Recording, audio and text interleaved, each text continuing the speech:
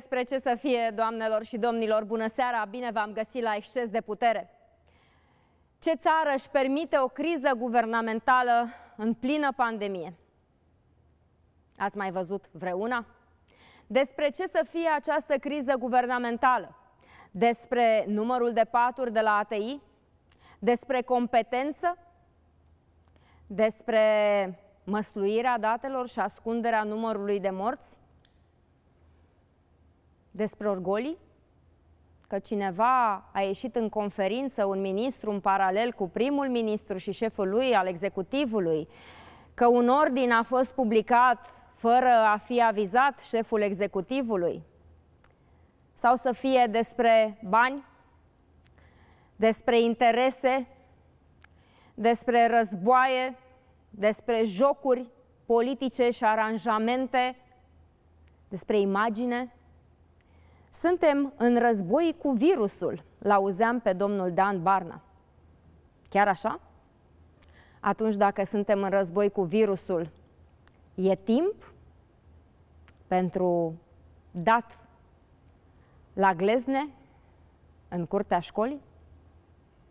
Și au spus zilele acestea tot ce au putut să spună, sau poate chiar mai e loc. I-am auzit vorbind despre uniform, Cine va dezvăluit hoția de la uniform? Aici, Antena 3. Despre date, despre rapoarte, despre hoții, despre numiri în funcții publice. Cine vă prezintă săptămână de săptămână topul competenților cu ghilimelele de rigoare numiți în funcțiile publice? Aici, la Antena 3, la exces de putere în fiecare vineri seara. Au aflat și ei acum despre nepoata lui Vela, numită de Câțu, au aflat cei de la PNL despre uh, omul pus de Vlad Voiculescu la șefia Casei Naționale de Sănătate? Facem ce facem de fiecare dată la exces de putere. Luăm urma banilor, nu? Așa se spune, follow the money, ca să înțelegi logica războaielor politice. Big Pharma, donațiile, oamenii lui Vlad Voiculescu. Veți vedea însă și de partea cealaltă, dacă vorbim de prea cinstitul PNL sau dacă procedurile sunt aceleași. Intervențiile deloc chirurgicale ca în spitale sunt și la unii și la ceilalți. Unde duce acest război? Cum se va face pacea? Vom avea noi de câștigat din asta? Va merge mai bine campania de vaccinare, va crește numărul românilor care pot fi internați în secțiile de terapie intensivă și nu pe holurile unităților de primiri urgențe pentru că au nevoie să le fie salvată viața din mâinile acestui virus, metaforic vorbind, acela cu care se războiește domnul Dan Barna? Veți vedea imediat ce logică are în acest război politic schema din spatele meu. Cine sunt acești oameni? Cum zugrăvesc ei în momentul de față războiul intereselor? Și veți vedea de pe site-uri oficiale, de la instituțiile statului, urma banilor. Întotdeauna e acolo undeva. Vine Berta Popescu alături de noi în această seară și cu informația bombă. Bună seara, Berta, îl salut pe Bună domnul seara. Radu Oprea din partea Partidului Social Democrat. Ni se alătură domnul Benoni Ardelean, vicepreședinte PNL, cel care a cerut primul plecarea lui Vlad Voiculescu din funcție, primul din PNL, afară din guvern. Puseserăm noi aici la Antena 3 cu zile în urmă, atunci când Vlad Voiculescu demonstrase că nu i-a păsat patru luni de zile de cum sunt înmormântați oamenii în această țară, nici măcar cât să citească un amărât de ordin al predecesorului lui, ordinul în baza căruia erau și sunt înmormântați românii care au pierit în urma virusului. Din partea USR, domnul deputat Victor Ilie. O să vedeți că ni se alătură și alți invitați. Bună seara, domnule deputat, pe parcursul uh, emisiunii și din partea PNL și din partea USR pentru a capta cât mai multe puncte de vedere. E despre bani? Așa a lăsat Vlad Voiculescu astăzi să se înțeleagă că mazilirea lui are în spate un război pe 10 miliarde de euro. Vreți să-l auzim? Haideți să-l auzim. Era vorba despre prea cinstitele concursuri la casele de sănătate. La alea județene, că la cea mare a venit domnul Voiculescu și a pus omul lui. O să vedeți imediat despre cine este vorba. Haideți să-l ascultăm pe Vlad Voiculescu.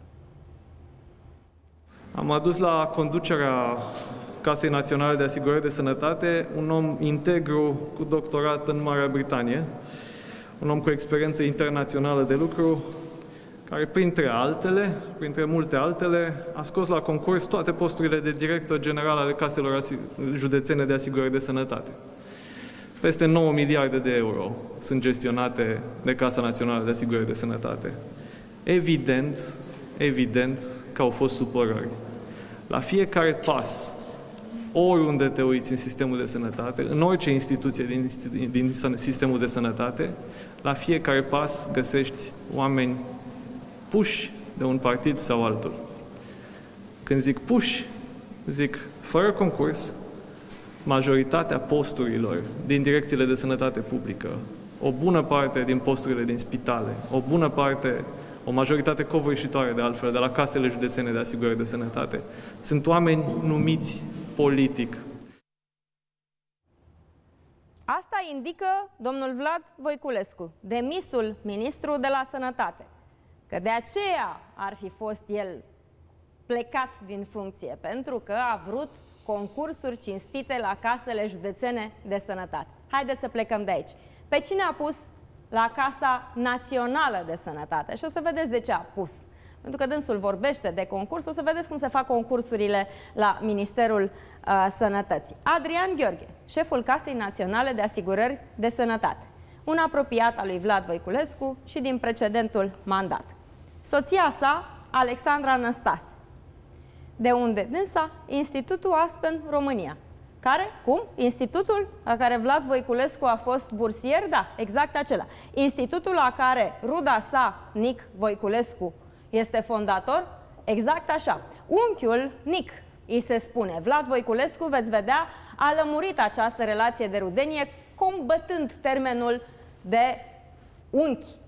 Dar rudă îi e. Explicațiile imediat. Nic Voiculescu, fondator la Aspen, dar și la Novartis. Care Novartis?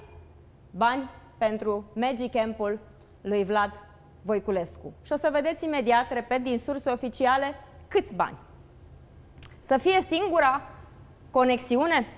Proiectul lui Vlad Voiculescu Magic Camp, de acolo de unde au venit foarte mulți consilieri la Ministerul Sănătății, din echipa sa de la Magic Camp și a zice, păi nu-i normal să-și aducă omul și la minister oameni cu care a lucrat? Hm? Așa să fie, o să aștept explicațiile invitațiilor.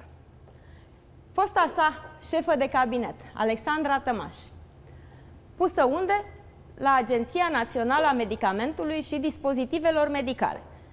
Unde a lucrat însă patru ani și jumătate? La Pfizer. Bun, în mai ales în contextul ăsta cu vaccinul, nu e așa? Că e bun? Unde a lucrat înainte? La un alt gigant din industria farma. GlaxoSmithKline. Care e legătura între Pfizer și Magic Campul lui Vlad Voiculescu? În bani. Sponsorizare. O singură dată? Vom vedea imediat din surse oficiale. Și vă spuneam cum se fac concursurile în Ministerul Sănătății aflăm din povestea doamnei Monica Negovan. De unde vine dânsa? Tot din farma. Unde Deci, mai întrebați-mă o dată ca să vă răspund singură. De unde vine dânsa? Tot din industria farma. Păi și unde să fie pusă? La Direcția Politica Medicamentului din Ministerul Sănătății. Mai zic o dată, la Politica Medicamentului. Până să aflăm cum se desfășoară concursurile în Ministerul Sănătății fix pentru Direcția Politică a Medicamentului. Haideți să vedem urma banilor pe site-uri oficiale ale instituțiilor statului, de exemplu Agenția Națională a Medicamentului. La Agenția Națională a Medicamentului găsim ce vă spuneam mai devreme. Nic Voiculescu, Novartis, Pharma, către Magic Camp, contract de sponsorizare, mijloace financiare, 50.000 de lei. Pfizer România, deci când era asta în 2017, Pfizer România către Magic Camp, donație de 23.000 de lei în 2019. Asta pentru că posibilitatea de interogare Agenția Națională a Medicamentului cuprinde anii 2016-2020. Presa consemnează însă de la înființarea Magicamp aceleași nume ale sponsorilor și donații consistente. Și vedem uh, într-un articol din evenimentul zilei, dar au scris și alții. A scris Ioana Dogioiu la ziare.com despre același lucru. Sponsorizări din partea Novartisului lui Nic Voiculescu 2015 50.000 de lei, deci aceea sumă, la, la Pfizer, iertați-mă, la Novartis 160.000 de lei. În anul următor, 2016, sponsorizări de la Novartis, Pfizer și Himalaya. Deci e o chestiune anuală. Ce zicea Vlad Voiculescu când era întrebat despre unchiul Nic? Nu e unchiul, da, e rudă, dar s-au întâlnit. Dar când a luat el bursă de la Aspen Institute, fondat de Nic Voiculescu, oare să se fi întâlnit? Da, când a ajuns ministru, oare să se fi întâlnit? Domnul Nicolae Voiculescu nu este unchiul meu. Bunicul său este străbunicul meu. Această relație de rudenie îndepărtată s-ar încadra la gradul al cincilea, grad care nici măcar nu intră sub reglementarea expresă a codului civil. Evident, nu se poate pune problema unui conflict de interese. Nu am discutat nimic legat de minister cu domnul Nicolae Voiculescu. Singurul contact cu el din octombrie încoace a fost un schimb de SMS-uri cu ocazia vehiculării acelorași calomnii pe 23 iulie în spațiul public. Am fost bursier al Institutului Aspen, sunt unul din cei 200 de colegi din 15 țări, printre ei se găsesc economiști, medici, artiști și oameni din sectorul public. Nicolae Voiculescu este membru în bordul acelui institut, iar bordul este format din 10 persoane. Terminăm uh, schema cu ceea ce vă promiteam. Cum se fac concursurile și cum ajung oameni din industria farma fix la direcția politica medicamentului. Haideți să vedem povestea doamnei Monica Negovan. Concurs, nu? Că așa ne-a spus Vlad Voiculescu, că e pe bază de concurs. Interviul pentru doamna Negovan, care a fost uh, doar un dosar, n-a avut un nume printre candidați, însă a fost al șaselea dosar, au fost susținute în fața Alexandrinei Culea, Nicoletei Rusu și Amaliei Șerban, toate cu funcții în cadrul Ministerului Sănătății, se arată în articolul din Adevărul, Alexandra Culea, de profesie juristă, deci nimeni cu nicio expertiză profesională sau cu tangență cu domeniul farmaceutic. Nicoleta Rusu, de profesie juristă, consilier pentru afaceri europene în Ministerul Sănătății, șef serviciu, șef de birou, o singură persoană tangență cu domeniul farmaceutic în urmă cu două decenii, mai precis Amalia Șerban, actualul director al Direcției de Asistență Medicală și Sănătate Publică, funcție pe care o ocupă din iulie 2020, licențiată medicină farmacie la Craiova, consilier director adjunct în Ministerul Sănătății timp de 15 ani. Din cele 8 de sare depuse, 4 respinse în ziua interviului s-au prezentat doar două persoane, Monica Negovan și Liliana Bunaciu, care lucrează în cadrul Direcției pentru Politica Medicamentului și a Dispozitivelor Medicale din 2016. Deci un om din interior nu s-a calificat. Menționăm că întreaga procedură s-a făcut în deplină legalitate, a fost precizarea făcută de Ministerul Sănătății. Păi când a venit la interviu și când și-a prezentat CV-ul doamna Negovan, ce era în CV-ul dânsei? O poveste mai veche, cu automatele pentru vânzarea de parafarmaceutice.